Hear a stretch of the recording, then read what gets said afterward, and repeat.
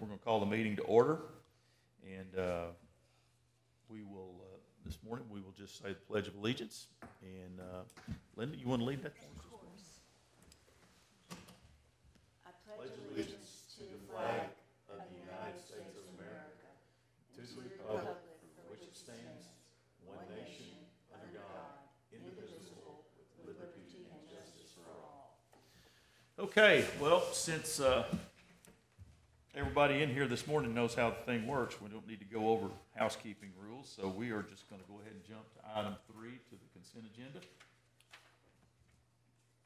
Any questions, comments, errors, omissions? Do we need to uh, do we need to have a discussion on item three B? The Wingstop project? Has anybody got any questions or anything on that? Okay. All right, seeing none, then I will entertain a motion. Mr. Chair, I move approval of the consent agenda.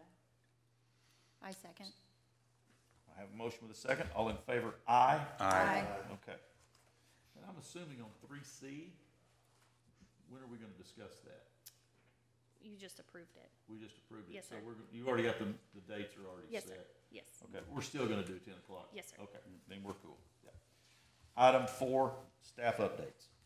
The only update I have, thank you, Mr. Chairman. The only update I have for you is, um, last night at city council, um, the ordinance concerning vape and smoke shops, um, went before council and they did approve, um, the definitions, the zoning districts for allowance, prohibiting them in the overlay districts, as well as the development standards that we discussed at the planning and zoning commission meeting on the eighth.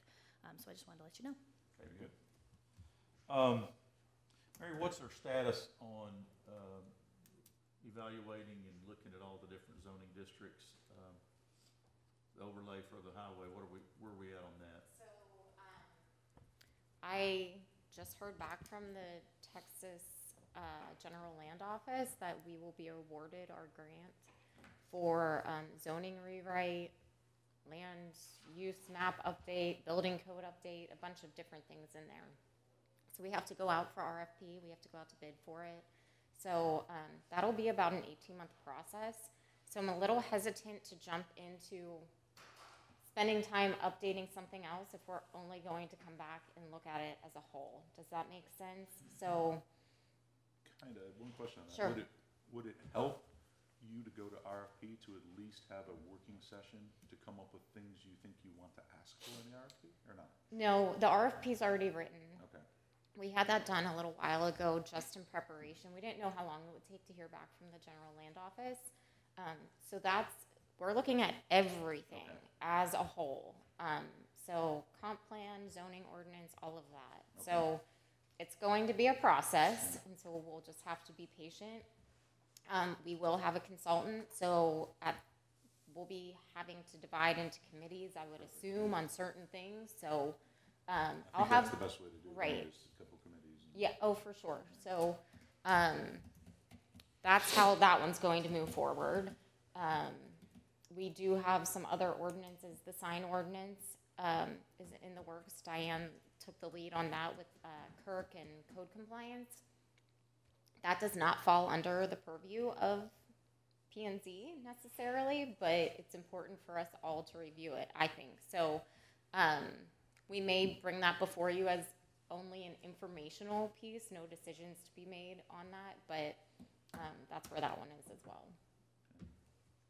Okay. Any questions on that?